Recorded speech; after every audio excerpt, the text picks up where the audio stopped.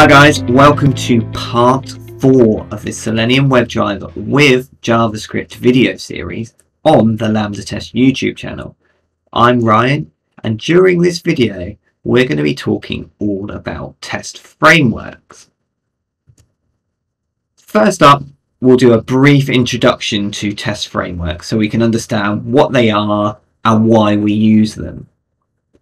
Secondly, we'll take a look at one of JavaScript's most popular test frameworks, Mocha. Once we understand Mocha, we'll look at how we can add this test framework into our existing Selenium WebDriver test.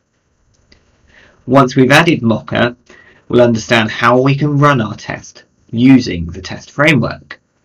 And finally, as usual, we'll do a full review of everything we've looked at during this video. So let's get started. Every scripting language comes with a number of different frameworks to select from. Popular JavaScript frameworks include Jasmine, Jest, and Mocha. Now every framework may use a slightly different syntax and each come with a varying set of tools you can utilize within your test automation.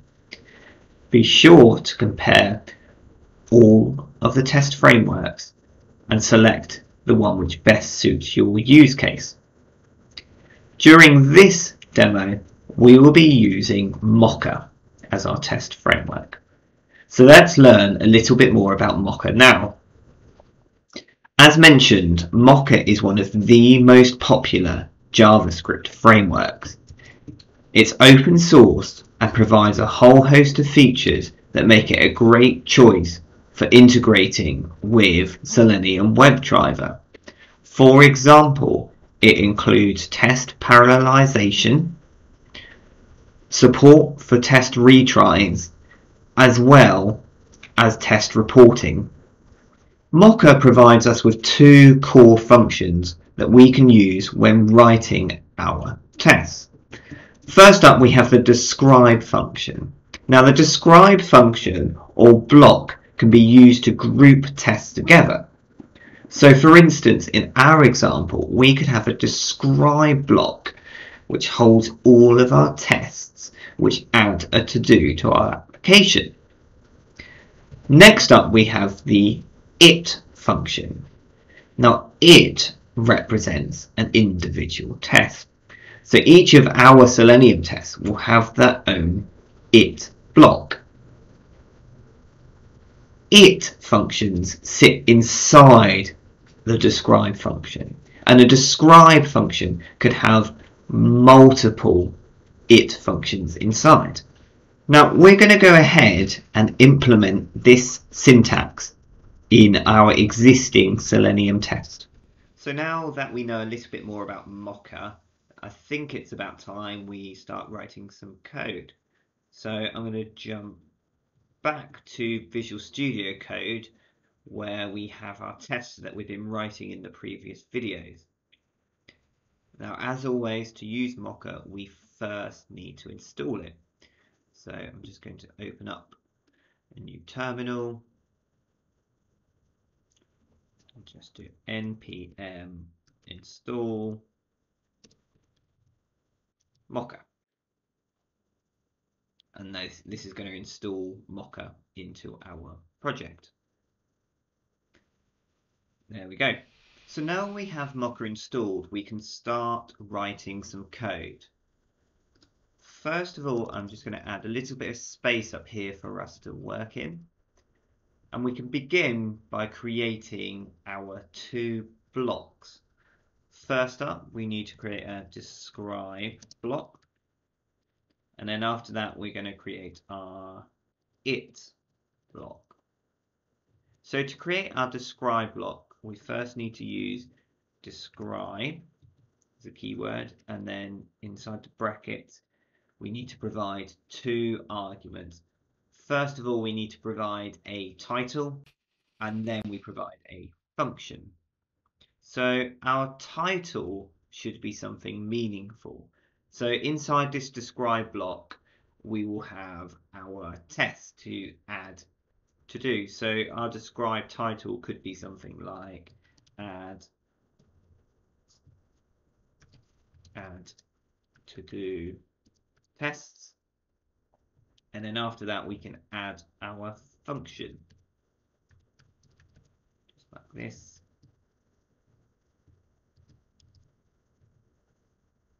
and there we go. This is our describe block. And as I mentioned our it blocks sit inside of our describe block. Right in here.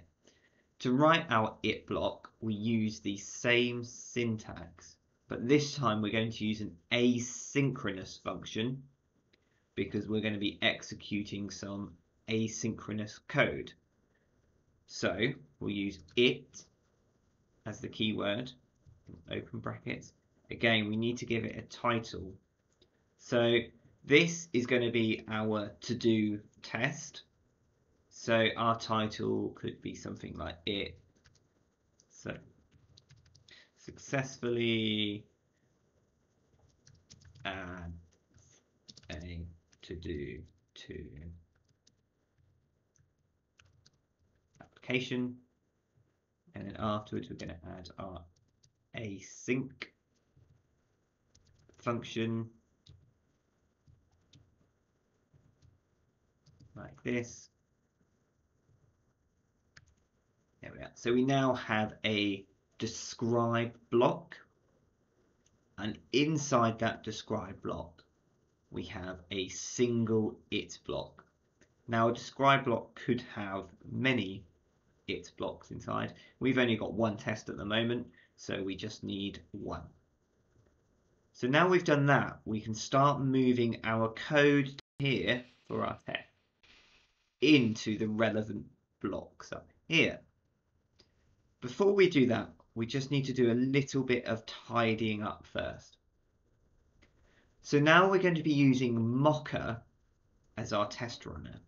We no longer need to execute the function using this example here. So I can remove that. And actually, we're not going to be using a function at all. I don't even need this function here. So we'll get rid of the curly bracket down here as well. So we now just left with our test code. Lastly, we currently have two assertions doing practically the same thing. One using the node assertion library, one using chai. So we don't need both of these. So I'm just going to remove the one using node. If you want to remove the one using chai, and keep the node one, you're more than welcome to do so. Now that I've removed the node assertion, I no longer need the require statement for this either. So I'm just going to get rid of this one as well. And there we go. We're now left with just the steps we need and we can start moving them into our code blocks up here. So the simplest way to do this is to copy all of these steps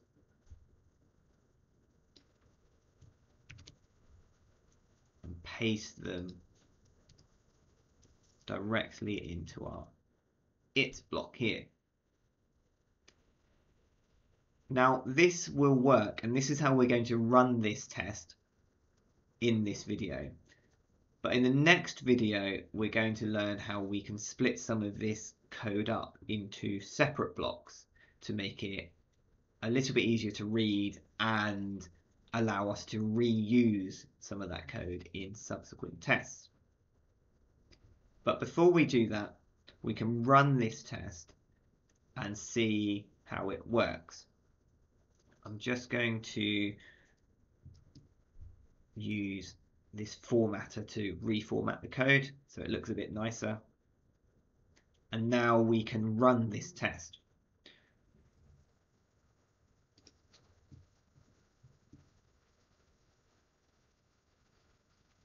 During our previous videos, we during our previous videos, we've had to During our previous videos, we've had to call the example function directly in order to execute our test. But now we've updated our test to use Mocha. During our previous videos, we've had to call the example function in order to execute our test. But now we've updated our test to use Mocha. We can In our previous videos, we've had to call the example function in order to execute our test. But now that we've updated our test to use Mocha, we can run it by invoking Mocha via the terminal. To do that, we use npx, which is the node package runner, and then we specify the package we want to run. In this instance, it's Mocha. Now, because we're using asynchronous code, I'm going to add a flag here for no timeouts. Mocha has a default timeout of two seconds. So by adding this, we just ensure that our test runs without timing out. Next, I'm going to add the path of where our file is. So our test file sits in the tests directory, and I want Mocha to find any files in this test directory which have the file extension .js. So I'll use the star for wildcard.js. Now Mocha will know to look in the test directory and pick up any files with the .js extension and run those. So I press enter now. You should see that it's found add to do tests, which is the describe title. It's now launching the browser and running our test. Unlike previously, we now get a report which tells us how many tests have passed. So we only have one test and thankfully it's passed. Now, by default, Mocha actually looks for a directory called test. Now, by default, Mocha actually looks for a directory called test within the project, and it will find any Mocha tests inside that directory. So to make our command even more simple, we can rename our directory to test. That way, when we run our command via the terminal, we no longer need to specify the path to our test directory. When I run now, it's still able to pick up the add to do test describe block and is able to execute the test. To make things even easier for us, we can update our package.json file with this command. All we need to do is open up our package.json file and update the value for test. Notice we don't need to include npx, so it's just mocha followed by any flags. So if I save this now, now if we run via the terminal, instead of using npx, we're going to use npm for Node Package Manager. And instead of writing the mocha command, we're just going to use test.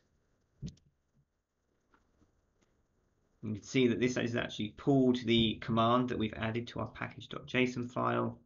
It's located our to do describe block and it's executed our test. So I think we've achieved quite a lot during this video. So let's take a look back at our test and see what we did. So after we installed Mocha, we created this describe block and inside that we created an it block we then added all of our test code inside of this it block here. We then learn how we can execute our test using Mocha via the terminal and also how we can update the package.json file to include our Mocha command. Now in the next lesson we're going to refactor some of this code to make it a little bit easier to read and make some of the steps reusable for other tests. So that's it for part four of this video series. As ever, if you want to get in contact, then you can find me on Twitter using the handle at Ryan Test Stuff. Alternatively, you can contact LambdaTest directly. If you like this video, be sure to check out the LambdaTest YouTube channel. There's plenty of other videos on there to view. Alternatively, have a look at the LambdaTest blog where you'll find hundreds of blogs on various testing topics. If you're interested in learning more, check out the LambdaTest certifications page where you can learn how to become LambdaTest Selenium certified. Anyway, that's it from me and I'll catch you on the next video.